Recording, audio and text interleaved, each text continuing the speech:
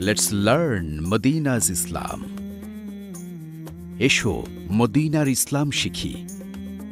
কুরআন ও সহি সুন্নাহের পথে জীবন গড়াই হোক আমাদের অঙ্গীকার। চ্যানেলটি সাবস্ক্রাইব করে আমাদের সাথে নেকির অংশীদার হন।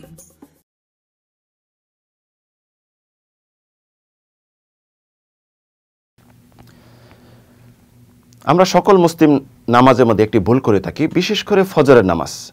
ফজরের নামাজ যদি আমরা দেখা যায়, জামাতে এক রাকাত না পাই অথবা দুই রাকাত না পাই তার সাথে অংশগ্রহণ করি, পরবর্তী দেখা যায়, আমরা এই কেরাত যখন পড়ি, সোরা ফাতেহা বা অন্য সোরা পড়ি, এমন আস্তে আস্তে পড়ি, নিজেও শুনি না।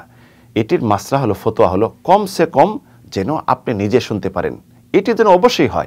আর দেখা যায় অন্য অন্য যে নামাজগুলি রয়েছে যে নামাজে সোরা কেরাত আসতে পড়া পড়া হয়, বিধান রয়েছে। ওই সমস্ত নামাজে আমরা নামাজে দাঁড়িয়ে যাই, একদম মুখ বন্ধ থাকে। ঠোঁট লড়ে না। এই যে জিকির করতেছি, তাসবি করতেছি, মনে মনে। এটি কখনো হবে না। যদি আপনি অবশ্যই আপনি নামাজটি সঠিক চান, নামাজ বাতিল না চান, আপনার মুখ, ঠোঁট যেন লড়ে, মুখ যেন বন্ধ না থাকে। যখন তাসবি করবেন, জিকির করবেন, তাহালিল করবেন, অবশ্যই মুখ লড়তে হবে। সোরা ফাতেহা পড়েন, দেখা যায় মুখ লড়ে না। মনে মনে অন্তর দিয়ে পড়েন, এটি আল্লাহ রব্বুল্লা আলমিন কখনো গ্রহণ করবেন না। রসুল সাল্লাহ সাল্লাম যখন সালাত আদায় করতেন, তখন দেখা যেত, সাহাবিরা বলেন, অসংখ্য হাদিস এ বিষয়ে রয়েছে যে রাসুলের দাড়ি মোবারক লড়ত। কারণ রসলাম ঠোঁটগুলি লড়াইতেন, যখন তিনি এই কেরাতগুলি পড়তেন। সোরা ফাতেহা ছাড়া নামাজ হয় না। আপনি যদি সোরা ফাতেহা কমসে কম যদি না পড়েন, মুখ ঠোঁট না লাড়িয়ে মুখ বন্ধ করে রাখেন, তাহলে আপনি নামাজ হবে না। কারণ আসলে বলছেন, লা সলাত আলিমাল্লাম একরা বিভাতিহাতের কিতাব।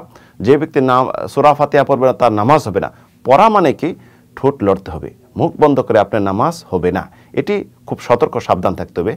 যদি আমরা ইতিপূর্বে এমন নামাজ আদায় করে থাকি, তাহলে আজকে থেকে অংশে সংশোধন হয়ে যাবে। এটি শোনার পরে আমরা কেউ যেন মনে মনে নামাজের কোনো জিকির আজকার বা তেলাওয়াত না করি, অবশ্যই আমাদের ঠোঁট যেন লড়ে, মুখ বন্ধ করে নামাজ আদা করলে আমাদের নামাজ বাতিল হয়ে যাবে। আল্লাহ আলম সাল্লাহ নবীন মাহমুদ এসো মদিনার ইসলাম শিখি। এর সকল প্রকার আপডেট পেতে আমাদের চ্যানেলটি সাবস্ক্রাইব করে বেল আইকনে ক্লিক করে নোটিফিকেশন অন করে রাখুন।